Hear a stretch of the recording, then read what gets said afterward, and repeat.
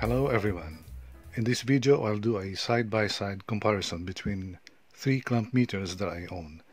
The reason why I'm doing this presentation is that one of my viewers requested if I can do a side-by-side -side comparison between a Fluke, a Kyoritsu, and a low-cost alternative, specifically an Aneng branded clamp meter.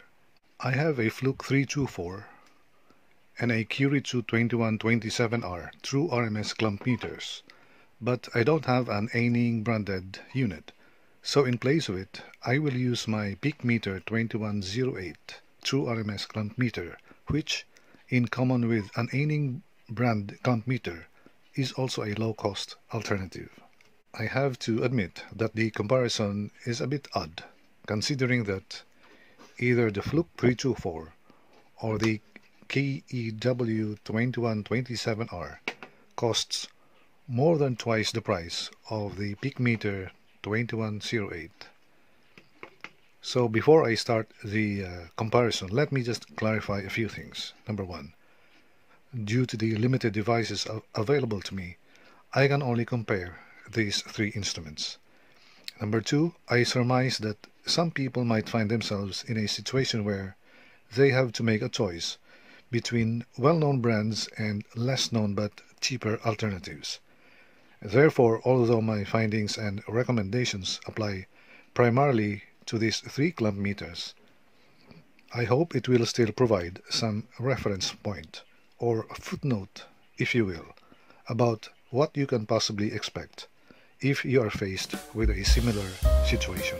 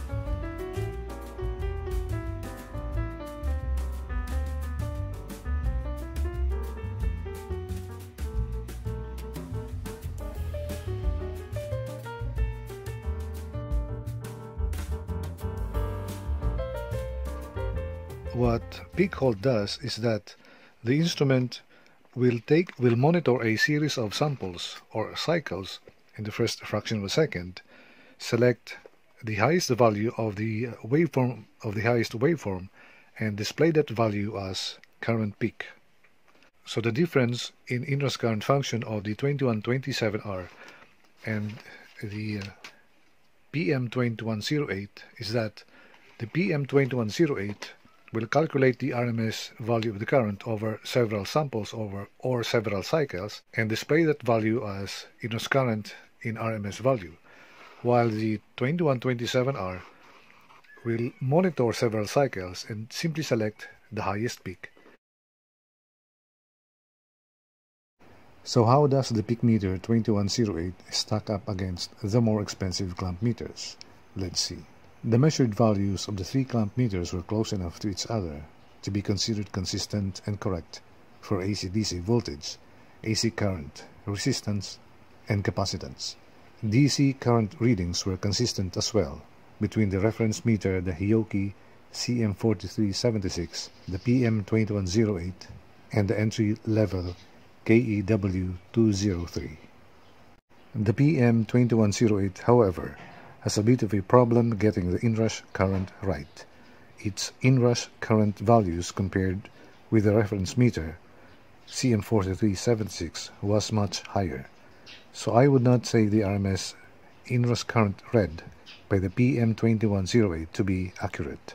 In contrast, the peak inrush current reading measured by the KEW2127R was nearly identical with that of the CM4376, so I can say that it was accurate. All in all, the Fluke 324 and the KEW2127R measured values on the test points consistently and accurately. There are no surprises there. Considering their brand name and price level, this is to be expected. But how about the Peakmeter 2108? Setting aside the doubtful inrush current readings of the PM2108, since all the other functions appeared correct, can it be recommended for professional work? Perhaps for occasional home use it can be considered, but for professional work, sadly, I cannot recommend it. Here's why. I noticed certain performance issues with the Peakmeter 2108. Soon after I bought it, I began to notice that the screen would flicker without obvious reasons. Sometimes when powering on, the screen would remain blank, although you can hear the beeping of the function selector. See this.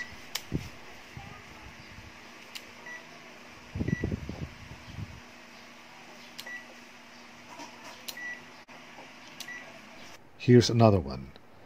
On some occasions, when I open and close the jaws of the clamp meter, some random value appear on the screen, even before measurement.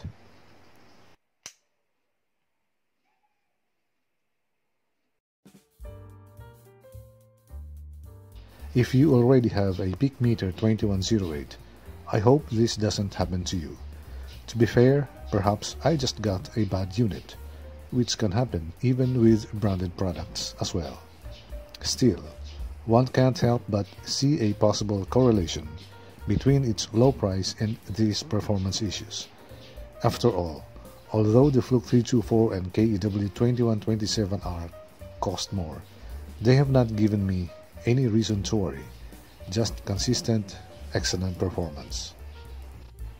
Looking forward, for me it makes sense to just go with the widely trusted instruments that meet your requirements from highly regarded brands in the industry. Get the safest, reliable clamp meter that you can buy. Since this video features the Fluke 324 and the KEW2127R, I can attest that they are good choices. But don't limit yourself. There is a lot of high quality but still quite affordable electrical measuring instruments out there from other brands, like Sanwa, Hioki, and Amprobe to name a few. Lastly, no matter which one you get, even ones not mentioned in this video, do get to know your instruments very well and learn to use them safely. If you are using them in a professional capacity, in the course of time, you may already have two or more of them as you continue to upgrade. which I think is just a natural progression of things. Work safe. Thank you for watching.